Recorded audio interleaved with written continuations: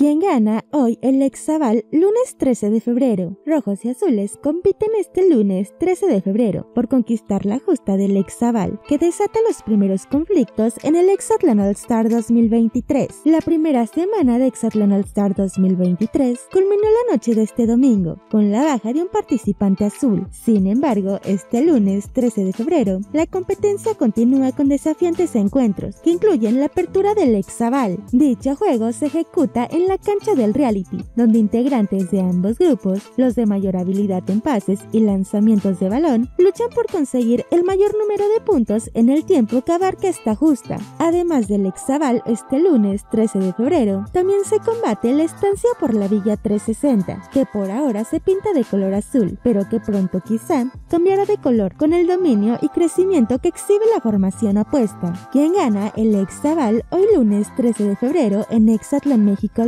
De acuerdo con distintas páginas de spoilers, el conjunto rojo será quien logre la victoria este lunes 13 de febrero, que abarca el primer enfrentamiento en la ex arena del Exaval.